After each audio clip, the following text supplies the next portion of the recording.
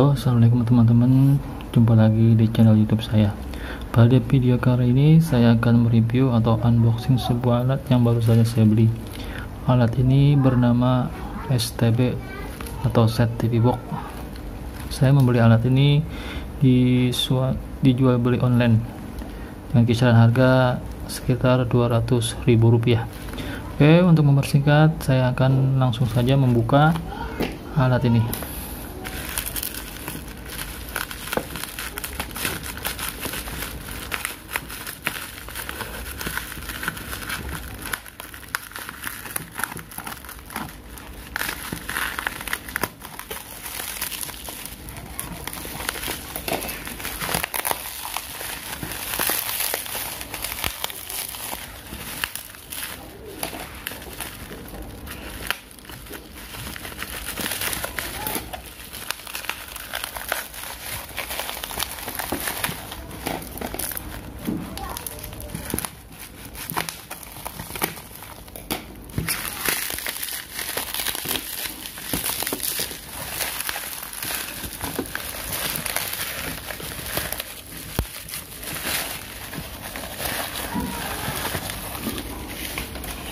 Oke untuk alat ini bermerek Greenray DRN 511W DPB T2 Digital Video Broadcasting.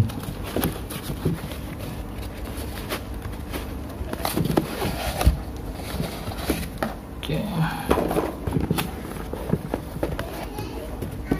Ini alatnya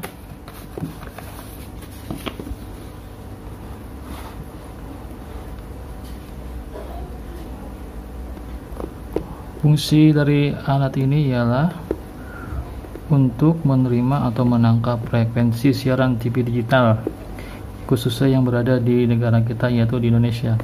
Kenapa saya membeli alat ini? Karena menurut informasi yang saya dapat pada tahun depan pemerintah akan melakukan migrasi dari sinyal TV analog menjadi sinyal TV digital.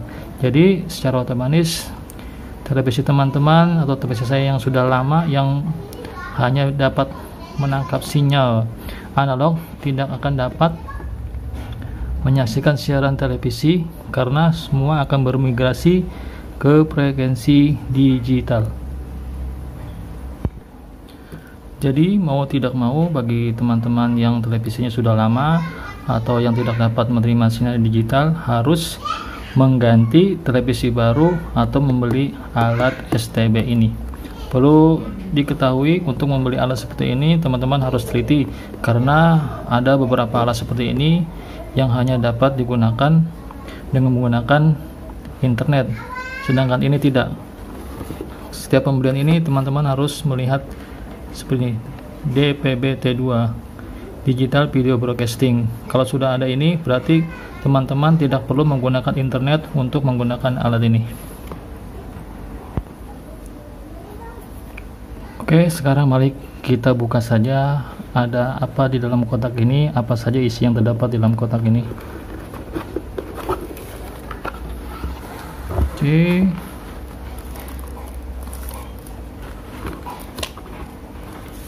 ini sebuah nota nota pembelian. Ini ada kabel RCA perangkat remote. Dan seperangkat alat STB ini ada buku panduan.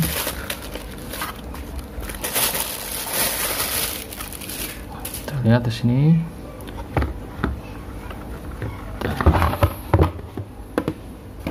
pada alat ini kita lihat terdapat plot USB di bagian depan. Untuk bagian belakangnya plot antena HDMI RCA dan juga video bagi teman-teman yang televisinya sudah memiliki port HDMI bisa menggunakan port HDMI untuk menghubungkan ke televisinya khususnya untuk TV-TV seperti LED atau LCD yang sudah memiliki port HDMI tapi bagi teman-teman yang masih memiliki TV tabung dapat menggunakan port RCA seperti ini untuk menghubungkan alatnya ke televisi. Oke sekarang saya akan mencobanya langsung ke televisi saya Oke, langsung kita akan mencoba alat ini apakah berfungsi atau tidak. Saya akan coba menghubungkannya ke arus listrik.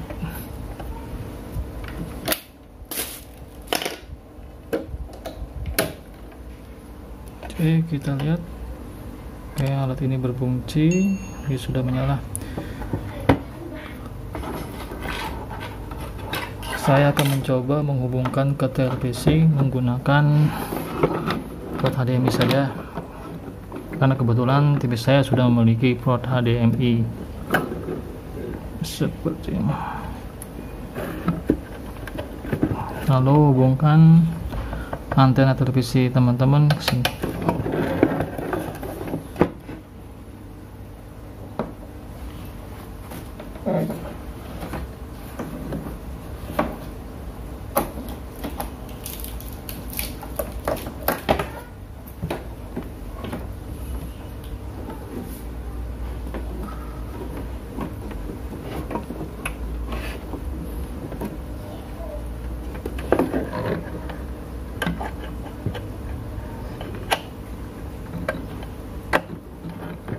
Oke sudah saya hubungkan. Sekarang saya akan menyalakan televisinya.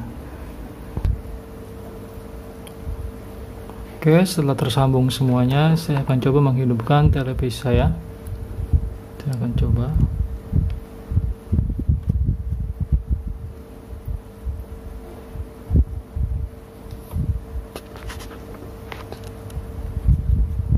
Saya akan mencoba ke input HDMI pilih kebetulan saya menggunakan port HDMI 2 seperti ini langsung. Tunggu sebentar. Oke ternyata cukup mudah sekali dan hasilnya pun sangat bagus. Langsung mendapatkan siaran televisi digital. Sekarang saya akan mencoba siaran-siaran apa saja yang sudah tertangkap di alat ini.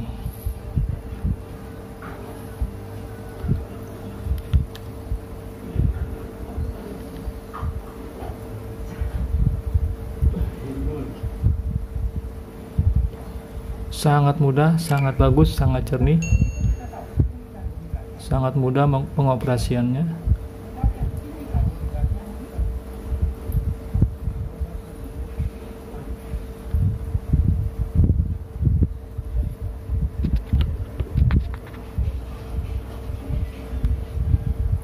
kita akan melihat berapa channel yang ditangkap oleh alat ini.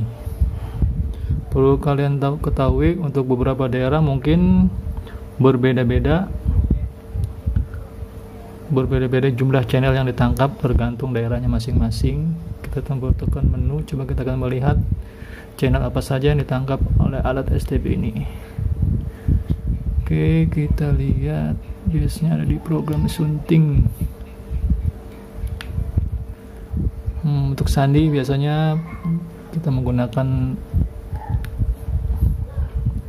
ini. Oke, kita lihat sini banyak sekali channel-channel yang ditangkap oleh alat STB ini. Kita lihat jumlahnya berapa channel.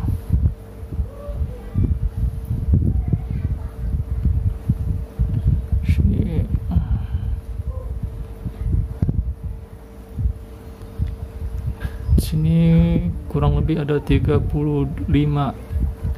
siaran televisi yang ditangkap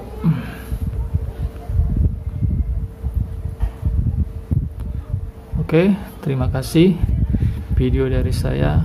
Semoga bermanfaat.